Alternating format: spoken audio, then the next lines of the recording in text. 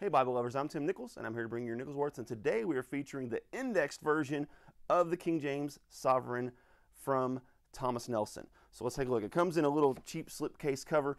It does come in a little bit better of a box if you get the genuine leather, which um, I'll kind of do a little comparison here. But you know the Sovereign, what it's all about. It's to restore the regality and the beauty of the King James, and the leather soft covers actually are pretty good. I don't mind these at all. Now here is a look at the genuine leather and you will notice that it's kind of stiff a little bit. It is edge lined, but the edge line is really puny. But for the price range, you can't beat this. These, you can get these for around 30 bucks. So really just can't beat it for the price. And of course, it has a very uncanny resemblance to the Canterbury, which is probably on purpose. So now you'll notice this one has some tool work.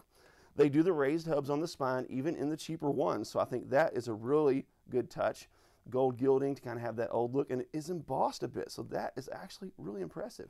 Even the word Holy Bible, it's embossed in there a bit, so it's not going to be as easy to rub off. Perimeter stitching, I mean, for a $30 Bible, this looks really nice. Corners look good. It's paste down liner. It might have some reinforcement there, but look, you're not buying this Bible because you want it to last 100 years. You're buying this Bible because it's 30 bucks. So anyhow, what makes this one stand apart is it has the indexes. Now, one thing I noticed on these indexes, and I've actually seen a couple others that seem to have the same issue, is that the hole punch didn't quite get it smooth. So if you will check that out, it just looks a little funky. Now I'm going to grab another index, and I'm going to show you how they're supposed to look.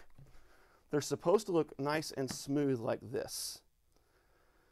So I don't know what happened there. I don't know if maybe this was just a few of them that were that way. I know Thomas Nelson and Zondervan, both from HarperCollins Christian, are usually phenomenal about everything that they do. So this could just be a fluke, but it could be the entire run. So uh, you may want to look into that before you buy one of these for a rebind. But anyhow, when you get into the New Testament, you will notice the red letters.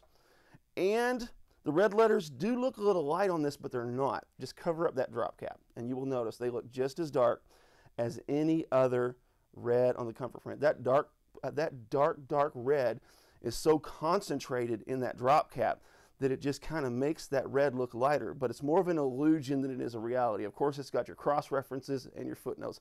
I really wish if they were going to go with the traditional look that they go ahead and put the cross references in the middle. I know a lot of people don't like center references, but I think it's really important to separate your notes from your references because it can be kind of difficult to separate the two.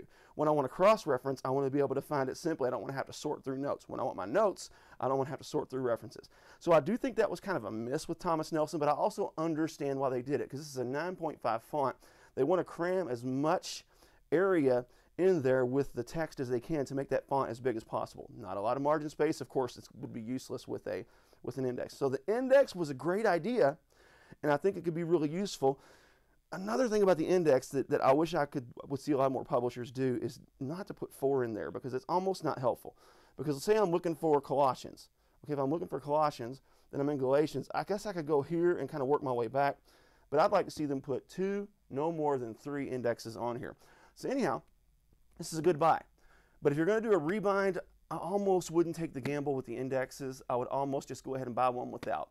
But for the price, even if you bought it and you decided, you know, um, I want to get this rebound, but I don't like those indexes. Worst case scenario, you're stuck with a really nice Bible that doesn't have the most beautiful indexes, and you've only got 30 bucks in it, and it looks similar to a Canterbury. So, you know, a Canterbury can cost in excess of $200.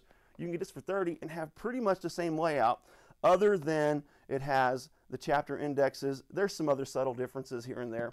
I'll link the uh, the review of the previous edition that I reviewed earlier in the description. Meanwhile, keep calm. Jesus on. This is your Nickels Worth.